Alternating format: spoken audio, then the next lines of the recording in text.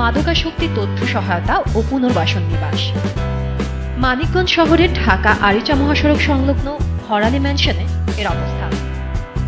মাদকের বিষাক্ত ছোবর থেকে তরুণ সমাজকে আলোর পথে ফিরিয়ে আনতে দীর্ঘ চার বছর ধরে কাজ করে যাচ্ছে পথ নামের এই সংগঠনটি।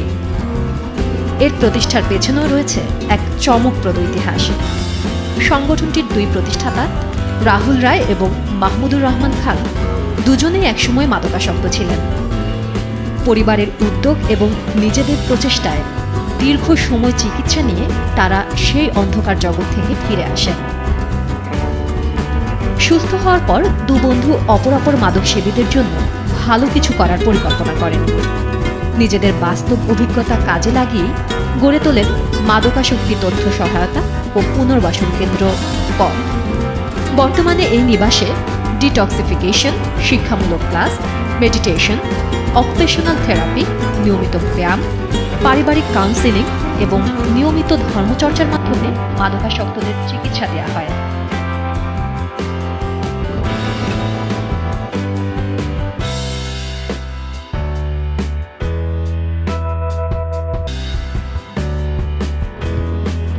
মাদকের কবল থেকে মুক্তি নিয়ে এই নিবাসের স্থান পাওয়া তরুণ প্রাণগুলো যখন গভীর মনোযোগে কাউন্সিলরের লেকচার শোনেন আর প্রশ্নের উত্তর দেন, তখন মনে হয় এক সময় অন্ধকারের পথে পা বাড়ানো এই ছেলেগুলোর আলোর পথে ফেরার খুব বেশি দেরি। একদিন তারা সত্যি আধার ঘুরে আলোর পথে আসবেন হাসি ফোটাবেন পরিবারের সবার মুখে আর নিজেরাও হবেন এই সমাজের গর্বিত অংশীদার। হওয়ার পিছনে মূল কারণ যে আসলে আমি নিজে একসময় অ্যাডিক্ট ছিলাম। তো মানে আসলে আমি যখন নাকি মানে সুস্থ জীবনে ফিরে আসি চিকিৎসা নেওয়ার পরে সেই ক্ষেত্রে আসলে দেখি যে আমার মতন আরও অনেক ছেলেপেলেই তারা বিপদগামী হচ্ছে।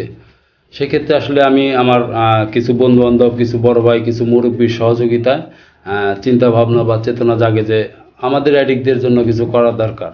আমি নিজে যেহেতু সাফারার ছিলাম তো এরকম সাফারার বা আমি আমার পরিবারের যতটুকু কষ্ট দিছি, সেরকম যেন অন্য কোনো পরিবার কষ্ট ভোগ না করে।